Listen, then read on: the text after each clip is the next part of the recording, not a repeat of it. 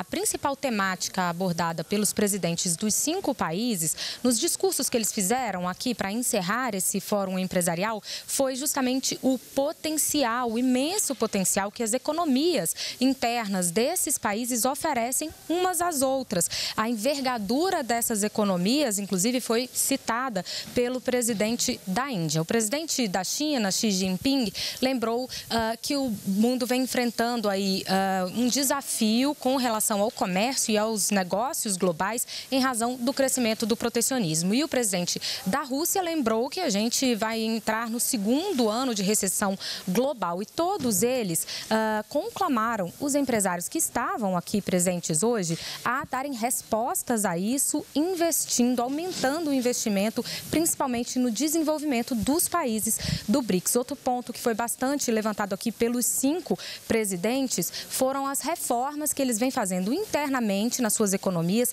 para justamente melhorar o ambiente de negócios para esses empresários. Com o presidente Jair Bolsonaro não foi diferente, ele lembrou as reformas que vem fazendo no Brasil, disse que o país tem ainda um longo caminho a percorrer, mas que é hoje um país mais aberto ao comércio global do que nunca. Veja o que ele disse.